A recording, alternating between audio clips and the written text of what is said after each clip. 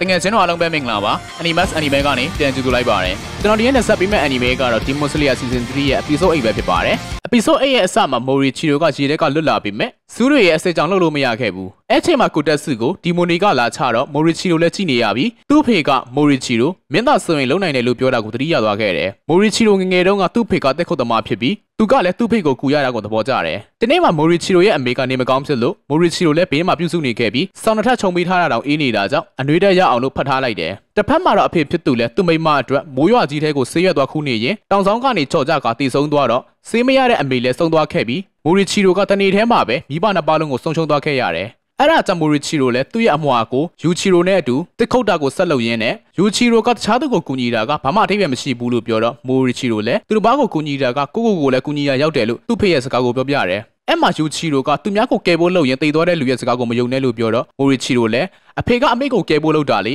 အကိုအဲ့လိုပြောစရာလားလို့ပြန်ပြောလိုက်တယ်ယူချီရိုကအမေယောဂကတလောက်ပြင်းထန်နေတာဆေးရွက်နဲ့ပျောက်မယ်ထင်နေတာလားတကယ်လို့သူတာမုံတိုင်းကြတဲ့ဆေးရွက်ထမခုခဲ့ရင်ငါတို့မှအဖေခေါ်စရာလူတော့ရှိအောင်မှာပဲလို့ပြောတော့မိုရီချီရိုလည်းအကိုပြောတာအရန်လွန်နေပြီလို့အော်ပြောလိုက်တယ်ယူချီရိုကငါကအမှန်နေပဲပြောနေတာပြီးတော့ဆောင်ရွက်အော်မနေနဲ့တော်ဝက်တွေလာလိမ့်မယ်လို့ပြန်ပြောလိုက်ပြီးမင်းနဲ့မေမိုရီချီရိုရဲ့မူက အတိတ်ပဲမဲတာကိုဆိုလိုတာလို့ပြောလိုက်တယ်။အဲ့ဒါကြောင့်မိုရီချီရိုလည်းသူ့ကိုကသူ့ကိုမုန်းနေတယ်လို့ထင်သွားပြီးအကိုဖြစ်သူကိုအကျဉ်းတရားမရှိတဲ့လူလို့သတ်မှတ်ထားခဲ့ကသူတို့ညီကိုနှစ်ယောက်ရဲ့ဆက်ဆံရေးဟာလည်းအိတ်ဆက်နေခဲ့တယ်။အဲ့လိုနဲ့တနေ့မှာတော့မိုရီချီရိုကကြီးခတ်နေတော့အမိန်ကရောက်လာပြီးအရန်လာလို့ငေးကြည့်နေခဲ့ကအမိန်ကသူတို့ကိုဒီမိုစလီယာလုပ်ဖို့ပြောပေမဲ့ယူချီရိုကမောင်းထုတ်လိုက်တယ်။ မိုရီချီရိုကတော့သူတို့ကအသက်ရှူအကွက်ကိုစသုံးခဲ့တဲ့ဒီမိုစလီယာရဲ့မျိုးနွယ်ဆိုတာကိုကြားပြီးစိတ်လှုပ်ရှားနေခဲ့ကအကိုဖြစ်သူကိုသူနဲ့အတူဒီမိုစလီယာလုပ်ပြီးလူတွေကိုကယ်တင်ရအောင်လို့ပြောလိုက်တယ်အဲ့မှာယူချီတို့ကမင်းကဘာလုပ်နိုင်မှာလဲတမင်းတော်မချက်နိုင်တဲ့အကောင်ကဓာသမားလုပ်ပြီးလူကိုကဲခြင်းနဲ့ဟုတ်လားငါကိုဟာတာလီလာမပြောနဲ့မင်းလည်းမိမိပါတွေအတိုင်းပဲ ငါဒီလောက်နားပါလို့ပြောနေတဲ့ကြားတဲ့ကအလုပ်တွေစွတ်လုပ်ပြီးဖျားနေတဲ့အမေရောမသွားနဲ့လို့ဒီလောက်တားနေတဲ့ကြားတဲ့က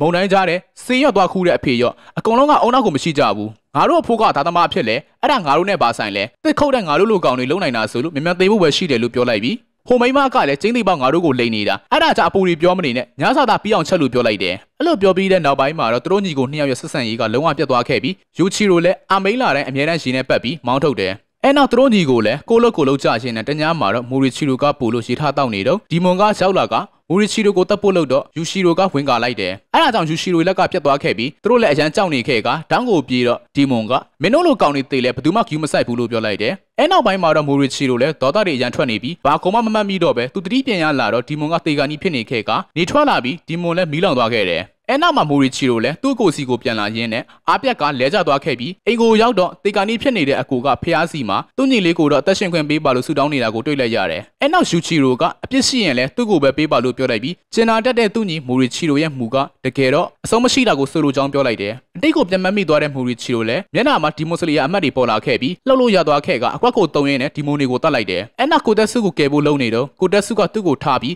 ဟာကနေဆုကိုကယ်ဖို့ပြောလိုက်ကတစ်ဖက်မှာတော့ဒီမွန်ကသူ့ဘလောက်လှုပ်လို့ဟာကာနဲစုကဓာသွေးရကိုမရက်တာကြောင့်ပောက်ကွဲနေခဲ့တယ်။အဲ့ဒါကြောင့်ဘေးကခါနာမိုရီကိုတပ်ဖို့လုပ်နေတော့မိုရီချီတိုကရောက်လာပြီးသူ့ကိုပိုင်တော့ဒီမွန်လဲရှောင်လိုက်ရင်းနဲ့ဒီကောင်ငါးရီထဲကနေဘလို့များထွက်လာတာလဲဆိုပြီးတွေးနေခဲ့တယ်။အဲ့နောက်မိုရီချီတိုကတန်ချီတိုလိုမျက်နှာပေါ်မှာအမှတ်ပေါ်နေတာကိုသတိထားမိပြီးအစိမ့်မိနေတာတောင်အရင်ထက်ပုံမြန်လာတော့မိုရီချီတိုကိုလန့်နေရင်းနဲ့သူ့ရဲ့ရေပွဲလက်ကိုတုံးလိုက်တာကြောင့်မိုရီချီရိုရဲ့ဓာတ်လဲကျိုးသွားခဲ့တယ်။အဲ့မှာတဲကပျက်စီးသွားပေမဲ့ဟာကာနဲစုကဓာတ်ကိုဆက်သွေးနေတာကြောင့်ဒီမွန်လဲဒီကောင်ချက်မပြစ်ဘူးလားလို့တွေးနေခဲ့က မိုရီချီရိုကိုတတ်ဖို့လုပ်တယ်။ဒါပေမဲ့မိုရီချီရိုကပြန်ချပြီးသူ့အတွက်ဓာတ်လုပ်ပေးခဲ့တဲ့ခါနာမိုရီကိုကျေးဇူးတင်ကခါနာမိုရီလည်းမိုရီချီရိုကိုအရင်ကဓာတ်လုပ်ပေးခဲ့ဘူးတဲ့။တက်စီတူပြောတဲ့အတိုင်းဓာတ်ကိုလှုပ်ထားတာဖြစ်ကြောင်းပြောပြတယ်။အဲ့ဒါကြောင့်မိုရီချီရိုလည်းတက်စီတူမသေးခင်ကသူ့ကိုစိတ်မချဘူးလို့ပြောတာကိုတတိယသွားခဲ့ပြီးတက်စီတူကိုစိတ်ပေါ်လုံးမိလို့တောင်းပန်လိုက်ကသူ့အတွက်စိတ်မပူနဲ့လို့ပြောရင်းနဲ့ဒီမွန်ကိုပြေးချတယ်။霞の呼吸五の型カウンの海そうかな ဒီမွန်နဲ့ချိန်ပြီးရှောင်လိုက်ပေမဲ့လေဘင်းကခုတ်ခံလိုက်ရပြီးမိုရီချီရိုကနောက်တစ်ခေါက်ဆိုရင်အပြတ်ပဲလို့ပြောကဆက်ချကြရင်းနဲ့သူ့ကိုပြောတဲ့စကားတွေကိုပြန်ကြားရောက်နေခဲ့တယ်။ယူချီရိုကမိဘတွေတည်သွားလို့မိုရီချီရိုကိုသူကောက်ွယ်ပေးခဲ့ခြင်းပေမဲ့မူချီရိုမင်းကအများအတွက်ဆိုအစုံမဲ့ခွန်အားတွေကိုတုံးနိုင်တာကြောင့်လူတွေကိုကယ်တင်နိုင်လိမ့်မယ်လို့ပြောနေခဲ့တယ်။အစုံနဲ့ကြည့်ရှုပေးခဲ့ကြလို့တငယ်ချင်းတို့အားလုံးကိုအထူးပဲကျေးဇူးတင်ရှိပါတယ်။